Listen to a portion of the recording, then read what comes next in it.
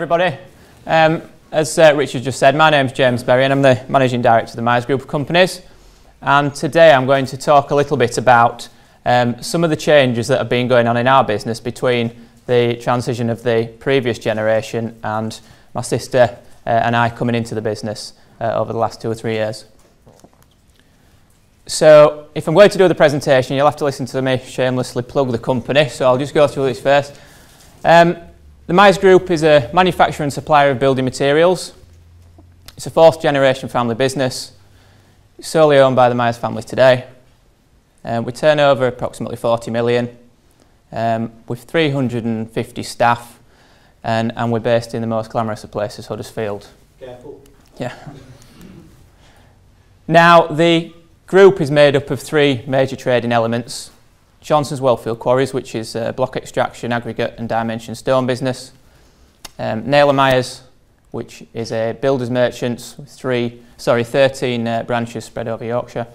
And Ready Mix Huddersfield being um, a ready mix concrete business.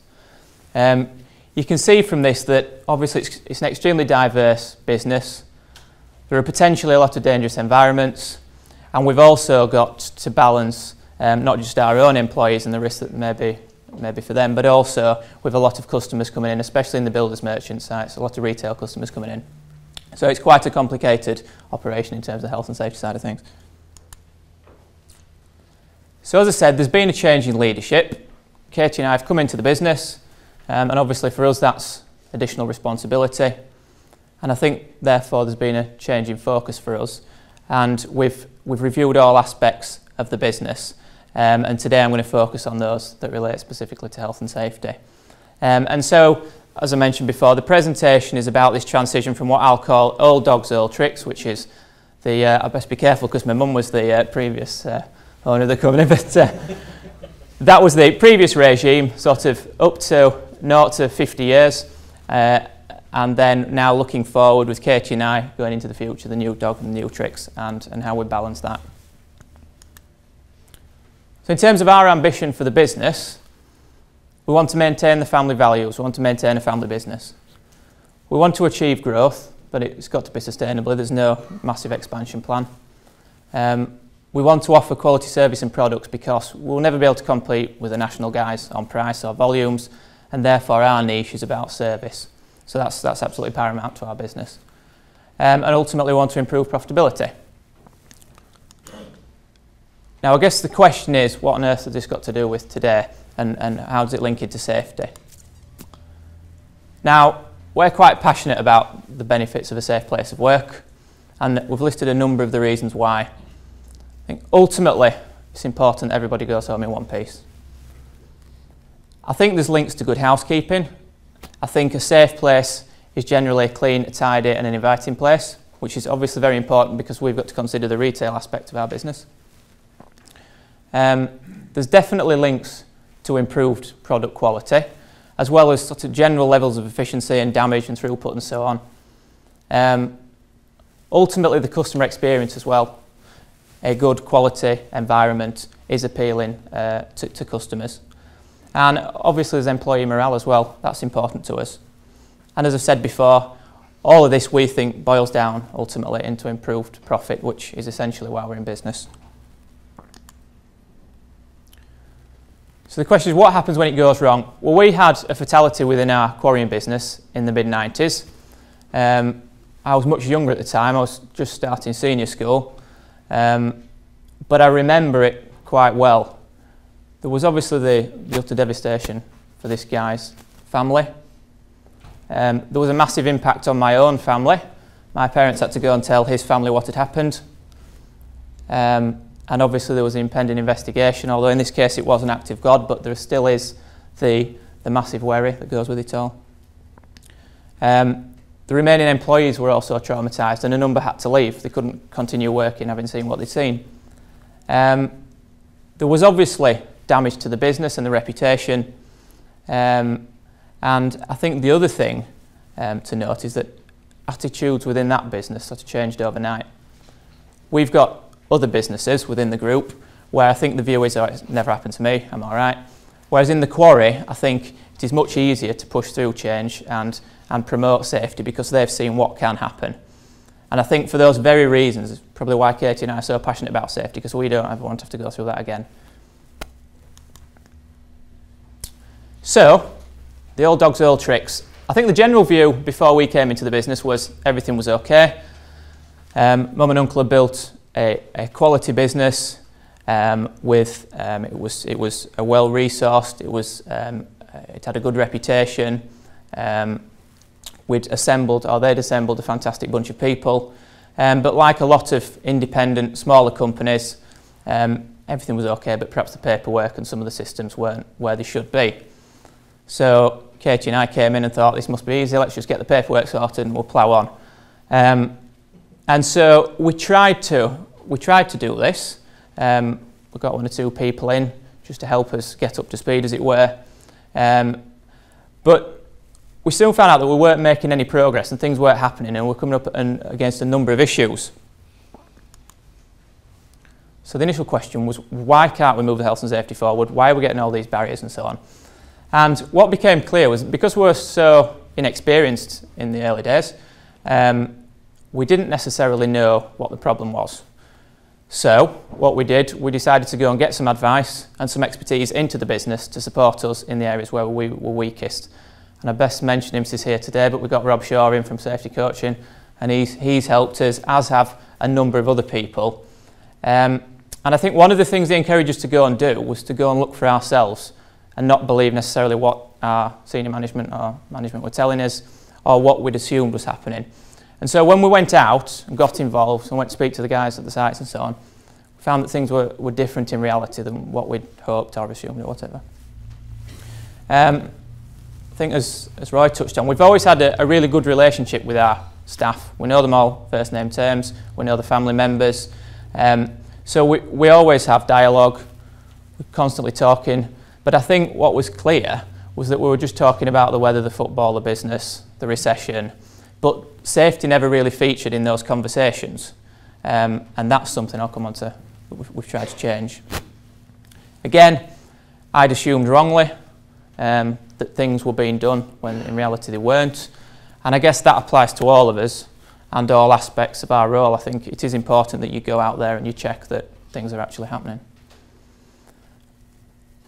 Also, obviously, the economic situation has had a massive impact on, on our business as I'm sure it has everybody in here, we've had to reduce the costs and, and the resource and so on, and therefore that has impacted on safety as it has on all aspects of the business. And I think one of the other things that you do get with this family business and this transition between generations, Katie and I have, have tried to build a management team to support us, and this has sort of coincided with the previous um, regime, as it were, coming to retirement age. And I think unwittingly we lost a lot of experience during that period uh, and we've had to try and catch up um, over the last year or two. So in terms of the initial mistakes we made, in terms of just thinking that we could just tick the box and get on with it, um, we struggle massively to get any sort of employee buy-in. Uh, and I think because young and impatient, we attempted to do everything overnight, sort of ram it through and uh, just assumed everybody would get on with it. Um, I think the approach was wrong as well. We're a practical business with a lot of hands-on people. And one of the worst examples I saw was um, a 15-page document, all text on how to report or fill in an accident book. And our guys got this and sort of saw it and thought, well, this is no bloody use to me. I need, I need somebody to explain it to me properly, how, how I do things. So the approach wasn't right. And that isn't to say that I don't think that documents are right in certain businesses, but it, for our people in our business, that, that wasn't the right approach at the time. I think the other thing as well, the procedures were issued and forced upon people sort of via email rather than sort of developed together uh, and, and they weren't communicated as, as they should have been. And I think generally we found that when we got out there and spoke to people, they were all left feeling confused um, and so didn't know which way it was up. And it wasn't that they were intentionally not helping us push through this change, it was that they genuinely didn't understand. And said before, I think coming into the business, Katie and I sort of saw the health and safety as a bit of a box ticking exercise and ultimately something that you just need to do, get that done, and as I say, move on. And in reality, it, it isn't that. We've learnt that. We learned that pretty quickly. Um, And I'm going to go on to, to, to, to why that isn't the case and what we've done about it. So one of the diagrams I showed fairly recently, and I think this is quite key to our business, was, was this one for competence. How a competent person has a balance of knowledge, experience and skill.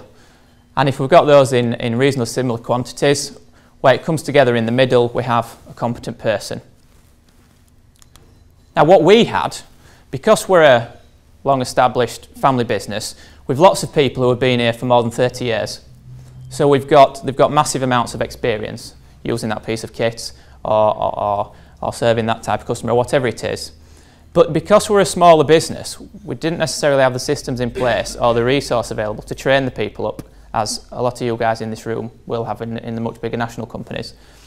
And therefore, there was probably an imbalance between experience, skill, and knowledge, which is something we've had to address fairly sharpish. And in reality, I guess you could say that some of those people weren't as competent as we'd thought. Just because they've been there for 30 years doesn't necessarily mean they're competent. So we, we looked at everything that went before, we got our fresh ideas, and I think we realised there was a middle ground. So we made various changes um, to try and move us forward. And I think there's five major areas. One is in terms of the culture of the business. Two was the management style and approach. Three was training. Four was the reporting and investigation of incidents. And five, uh, sort of physical improvements were made. So in terms of the culture, we've really been trying to push this safety culture. It's not a box ticking exercise. It's not something we have to do. It is a benefit to everybody in the business and ultimately the business as a whole. Um, and as I say, we've, we've tried to drive this alongside a housekeeping, um, or pushing the housekeeping as well, because I think they come hand in hand. Um, we've tried to make everybody responsible and get away from this sort of view that oh, it's only the health and safety advisor or it's only a line manager that's responsible for safety. So we've, as I say, we've, tr we've tried to um, try to make everybody feel responsible and, and point out that it's not just about keeping yourself safe, it's the guy next to you, it's everybody on the site, it's the customers. Um, one of the things that Roy touched on, we've introduced a safety committee. By the sounds of it, we're a bit late, but we thought we were leading the way here. Um, and what we've done, yeah, we, um, we wanted to give everybody a say. So the idea is as directors of the company, we are wanting to drive this change from the top down. But I think it's important that we don't go and fall into those initial mistakes and we encourage the ideas from the bottom up. So we've assembled a safety committee and on that committee are directors of the business and then various uh, levels of management and so on. And we also have yard staff and drivers on that same panel. And we sit down once a month to discuss policy changes, incidents that have occurred, best practice and so on. And we try and encourage that to be as informal and open as possible so that we do genuinely get or make people feel comfortable that they can speak up and we can encourage these ideas. Um, and I think that, that has been a real success uh, for us. Um, and that has also helped us to spread the message to the, to the wider business because there's nothing like hearing it from your colleague as opposed to listening to a presentation from one of the directors. That, that, that's really helped. So those, those drivers and, and yard lads who have, who have been there, seeing what we're trying to achieve, I think if, if they can help sell the message, then that, that makes a massive difference. In terms of the culture as well, we're trying to make the point that things need to be done for the right reason. It's not about a blame culture. It's not just a box ticking exercise. It is genuinely a, about making the workplace safer and improving the business. Um, we've gone for very much a risk-based approach to safety. Um, we can only do so much. We've only got so much money and therefore we've highlighted the areas of highest risk and we can tackle those first. The other thing here, sound pretty obvious to, to most people, this empowerment and personal responsibility. But in a family business, which you're extremely passionate about, it's so easy to fall into the mistake of micromanaging, getting involved in all the tasks, and before you know where you are, you're doing them all yourself, and it's this I'm in the trench digging and everybody else is watching sort of thing. And so what we've tried to do is empower people, give them responsibility. They say gets them to buy in, but also it frees up senior management to time to allow us to, to drive the culture and the strategy, which is probably what we were missing before. So that's quite important that we're free to, to, to help develop this safety culture. And the other thing, um, which we didn't necessarily do as well as we could have done, was to celebrate sort of personal site performance and improvements and promote them. And we're doing that through that safety committee, um, which, which seems to be working so far. So I touched on the management style um, before. One of the things that we found was that we'd got two or three people into the business to help us um, on health and safety initially, as, as well as other things. Um, but they weren't the right people and they weren't getting the message across. So we've, we've got people into our management teams now, assuming they're competent, but we've selected them beyond that based purely on their people skills and their ability to embrace change because there's so many of these experienced people who couldn't embrace change and therefore you'll never move things forward. But equally, if you haven't got people skills, you can't communicate the messages to the workforce and that's just as bad. We're also trying to run health and safety as a group function because we had an imbalance of, of standards. Um, obviously, the quarry is out of all our businesses is leading the way, and I think that's because of um, sort of the mines and quarries influence, and also the fact that there was a bad accident see what happens. Whereas within the builders merchants and the ready mix side of things, it was perhaps not quite where it should be. So by trying to run it as a group function, we're trying to raise all the standards up to best practice. Um, and we've also insisted that the managers are more visible and approachable. So it's important, and that applies to directors of the company as well, that we get out there, we're seen to be accountable, and we're also seen to be leading safety and driving it from the front.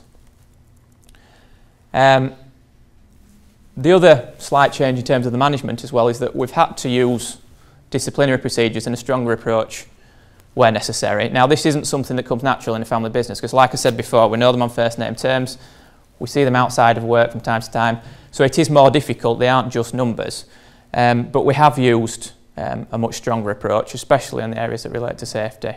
Um, as I say, it's only in a minority of cases, but it's something that um, we, we are using now, and I think it also sends out a message to, to everybody else that we're serious about this. So in terms of training, how do we bridge that gap between the, the competence diagram I showed you? How do we get the skill and knowledge up to, up to speed? Well, first thing we did, an immediate stop to issuing procedures and instruction via email because a lot of our people haven't got access to emails and a lot of them that have probably don't read them anyway. So that wasn't working. So we've gone for this toolbox talk approach for as much of this as we possibly can and, and sort of presentations. And this seems to be better suited to our, to our workforce and we seem to be getting much better engagement. We're going for an interactive approach where possible. So if it is, say, training on, on something like isolation, we get a, uh, an electrical panel in, and look at some of the isolation devices, the padlocks and clamps and all that sort of stuff. And then we can have a, pr a practical demonstration as well as just a theory-based thing or just a series of pictures. And the other thing that we've that um, our new safety advisor is doing for us, sort of insists after completing the toolbox talk, we go to that piece of kit or that piece of plant with the operators um, to go through it again to make sure that they do fully understand and to check that actually this thing can be isolated that there aren't modifications required and so on, because that's happened in a lot of cases for us. Um, and I think this more interactive approach as well has helped to generate more interest, better employee buy-in and also a wider discussion on other safety related issues, but also other issues within the business, whether it be quality or, or best practice whatever. So it really has been quite positive as this. I think out of all the things we've done, this more laid back approach and uh, more interactive approach has really uh, has really worked, and, and, the feedback I've got from our guys is that they've, they've thoroughly enjoyed that. Uh, and the other thing as well, it might sound obvious, but to include everybody, it's not just the operator of that machine, it's anybody who might come into contact with it, or maintain it, or feed it, or whatever. So that's important that we include everybody in the training. Reporting investigation. I think this is something that potentially we were particularly weak on, not within the quarrying side of the business, but within the other areas where um, there wasn't the same focus on this sort of stuff. So we've issued several sort of company golden rules, as it were, and one of them is that all incidents must be reported now. Um, we're then making sure that we investigate the incident with all stakeholders, and this is where our, our safety team come in. Um, and we're also trying to uh, issue some actions so that if there has been a, an incident, we try and stop it from happening again. Um, we're also sending out incident alerts internally because with a lot of sites that do similar things, and therefore, if something's happened on one site, it's important that we warn everybody else as to why it's happened and what we can do to prevent it happening again.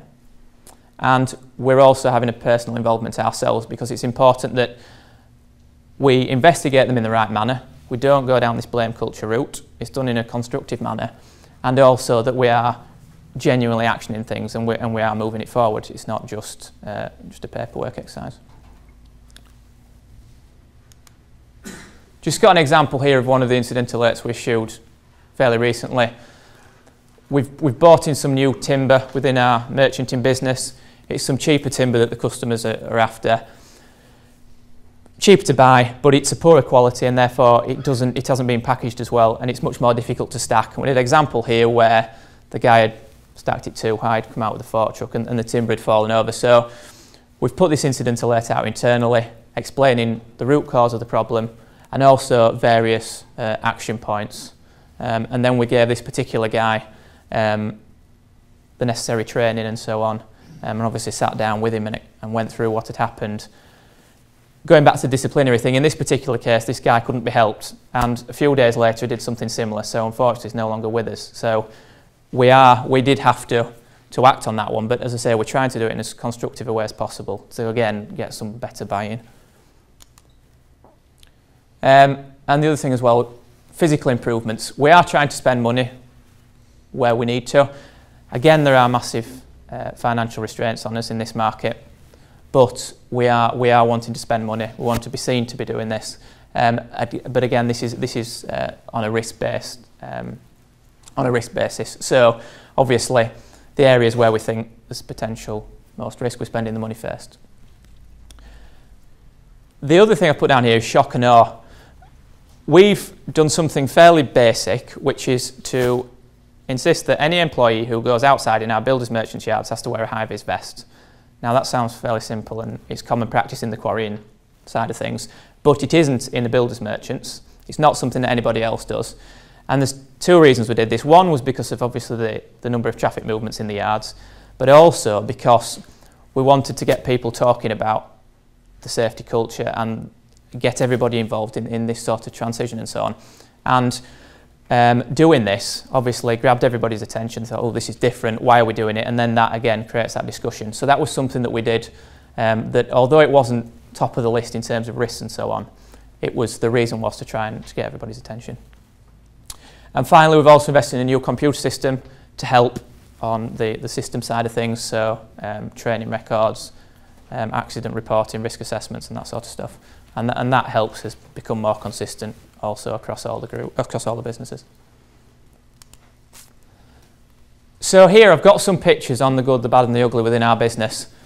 Now this is a picture of our latest branch that we opened within the, the Builders Merchants and I hope you can sort of see from the picture that Katie and I are really trying to push this customer experience.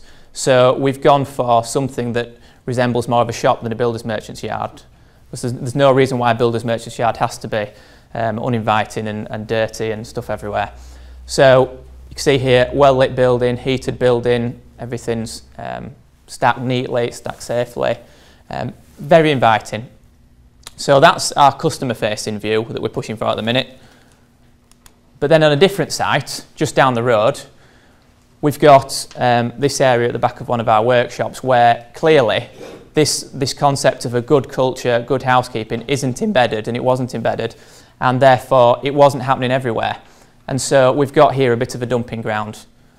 Said it was massively unsafe, but you can see it's a mess. Um, half the bits there we probably won't be able to find when we need them, so we'll just buy new ones. So we did the housekeeping presentation with these particular guys and sat down and explained why we wanted them to tidy that up. We didn't just issue, excuse my language of bollocking, but we, we sat down with them and explained the importance of this and how it linked to this, this wider culture.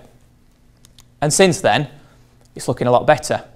Things are stacked properly and so on. And as I say, this, this seems fairly simple, but I think this is actually key to improving this culture and getting people to buy in. Now, I don't know whether I should show this one, but I am going to. We've got Um, a grinder here on the left, you can see the guards being removed. And also, um, there's a ladder abandoned in the middle of it. The signs are all over the place. And again, I think this goes down to this culture of we've been doing it this way for a long time and complacency is set in here in this particular environment. Um, and obviously this isn't acceptable. But again, we sort of sat down with them and explained why we're doing this, what it's, what it's all about. And since then, things are better. The signs are up, the guards are back on, the ladder's away. Um, and I think people hopefully understand why. I, I, don't honestly believe that they're going behind our back saying, I'm just going to do that so I, don't, so I don't get pulled up again. I think they generally bought into it and you can see it spread throughout the workshop and throughout that particular site. So that's been really positive down there. They were probably furthest behind where they should have been, but we've managed to achieve some, some buy-in and it, it's just spreading now and we don't have to say anything else, it's just happening. You can see the improvements all the time. There's also a sweeping brush down there. I'm reliably informed that is used from time to time. And a final example here. This was a notice board in one of our foyers for our central distribution site for our merchants. As you can see, it's, um, it's fairly sparse. I should imagine most of the stuff on there is out of date. So we've replaced it with, with this now. We've got this health and safety notice board, which is something which we've, we've recently introduced. And we've got this in every one of our buildings. And on here, there's obviously the insurance documents, company health and safety policy, the core rules and so on. But you can see on the, the bottom, we've also got our incident alerts so that everybody can see them for those who haven't got access to emails and so on.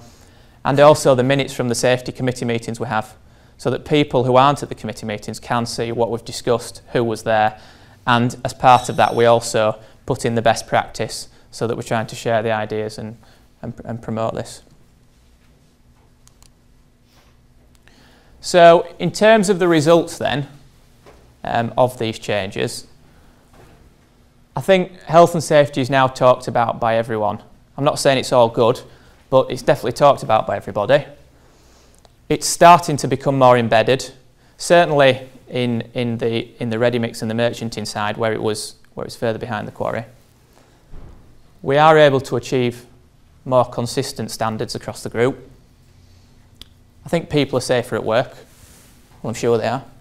Um, people have left. Some people were unable to embrace a change and therefore clearly couldn't come with us on this journey.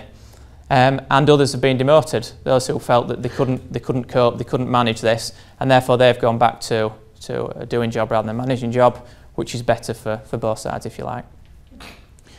We're focusing on uh, recruiting quality replacements, um, I think that's obviously important that we get the best possible people. Um, but one of the things I would note here is that our number of reported incidents has gone through the roof. Now, I wouldn't say that that was because we're any more dangerous than we were 12 months ago, but I think it's because everybody is now um, conscious of, of, of this um, and some of these things potentially would have been swept under the carpet previously. But we're trying to encourage everybody to report everything, to highlight the issues so that we can at least have a go at tackling them. Um, obviously, that that um, that potentially could be an issue for us, but but we think it's worth it's worth that. So, future aspirations for us as a business, we wanted to continue on this journey for improving the competency of the workforce. We'd like to try and achieve 100% employee buy-in. We determined to continue to do things for the right reasons, and that is to make it a safer environment and a better business for no other reason. And obviously, again, avoid this blame culture. Um, ultimately, we're constantly trying to improve the leadership quality, and that stems from me down. Um, I think if you want a good business, then you need good leaders and good management. That's key. Um, and again, I think this all boils down to the best possible customer service, which we feel we can steal a march on the Nationals because I think with the cuts that have happened through the, the current recession, the National Service has definitely suffered. And although the prices have dropped, which makes it more difficult for us, we can still achieve higher prices and win some work um, on the back of this customer service. People are still definitely willing to pay a bit more for good service. And, and that's ultimately what our business is about. So just final slide from me. What have I learnt? Well, I've learned it is all about communication. If you can't communicate your message, you've no chance. Um, and that's something that, that we're constantly trying to build on. Everybody's got a contribution to make, no matter what you do or where you are. Um, as tempting as it is, don't think we should disregard everything that went before. It wasn't all wrong, it was just slightly different, so that there is a balance. You can't ch change things overnight. Again, frustrating when you wanted to move the business forward, but it does take time. Um, I think one of the things for me that was probably quite difficult was going with your gut feeling. I haven't got the experience that a lot of you guys have got, so it's quite easy to be swayed, but I think if you think it's the right thing to do, you've just got to plough on and do it. And finally, I think you've just got to do what you say you're going to do because if you don't and you don't move things forward, then you, you lose face soon and, and the whole thing sort of falls by the wayside. Um, so that's it from me, really. Um, so giving you an overview of, of what we've been doing. Hopefully Richard isn't going to shut us down because of those pictures. Um, but as I say, if you've got any questions, please please fire them at me. You might be local authority. Yeah.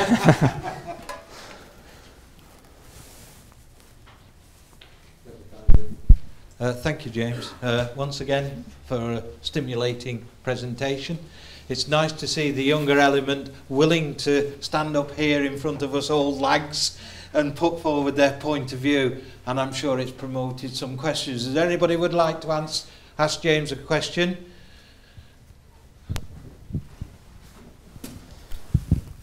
Just like to say, I was extremely impressed by that presentation. It was uh, brilliant. That um, just noted that uh, you managed to uh, demote people uh, yeah. in terms of you know, perhaps they've been promoted beyond their competence. Yes. how did uh, that go down and uh, what, did, what difficulties did you come across in, in doing so? Well, I think um, being a family business and my sister does the HR side of things within our business, so we haven't got the same constraints that you guys will have in the same system. So we're very fortunate that in some cases um, we don't have all this sort of legislation to work around. We do obviously have employment legislation, but we're free to make um, sort of quicker decisions and so on.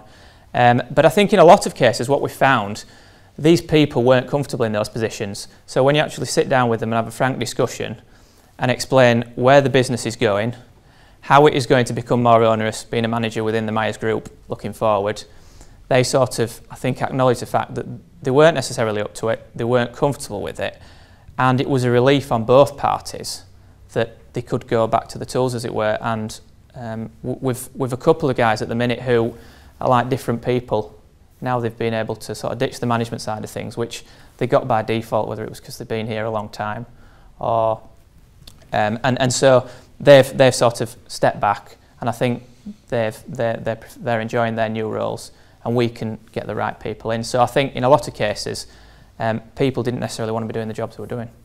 Certainly, certainly. Thank you for that. Is there any more questions for James? My golly. Nice and easy. I will tell you that uh, uh, when I was with Tarmac, we took over a company um, and I went down there as the Tarmac first manager and they didn't realise who Tarmac was because Tarmac weren't in that area and I had the same problem. It is not a new problem. It has been going on for years. We take over places, we go in, and the biggest thing is the previous occupier might not have given them anything. The first thing we did was give them PPE. We gave them 25 years awards for the people who'd worked for more than 25 years. But we couldn't get them to buy into the tarmac system because it wasn't their company, if you know what I mean. Um, and I fully understand what you say as regards to a family business, because that was a family business taken over by a bigger company. And the family business was always better than a bigger company. And I understand the problems that you face, because I faced them many years ago. Are there any more questions? Or have, uh, are you all made copious notes and you'll phone him later to ask him how he's done it?